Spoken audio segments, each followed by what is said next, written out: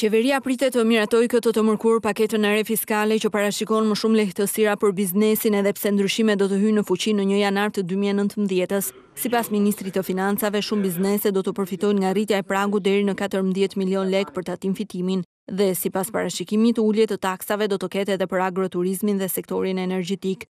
Një lëvizje shumë të rëndësishme është dhe rishikimi i tavanit të tatim fitimit që praktikisht e ul me tre herë ngarkesën fiskale për bizneset e prekura, tatim fitimi për bizneset me të ardhura deri në katërmbëdhjetë milionë lekë. Pavarësisht debatit se në vend po ulet interesi për investitorët e huaj, kreu i financave u shpreh se disa kompani serioze kanë shprehur interes për të ardhur në Shqipëri, midis tyre kompani gjermane e zvicerane.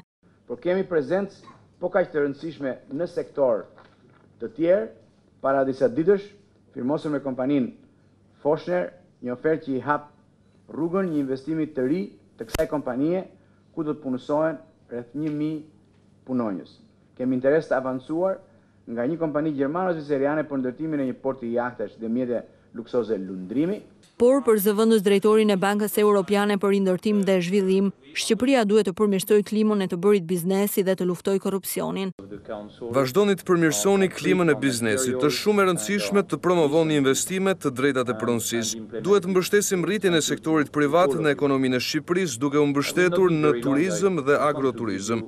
Ne po përgatisim me Qeverinë dhe Bashkimin Europian një program inovativ, i cili do të kombinojë paratë e BERZH-it dhe të BE-së. Do të jetë një program i madh, rreth njëqind milionë euro, për të ndërtuar rrugët lokale dhe ujësjellësat në zonat turistike.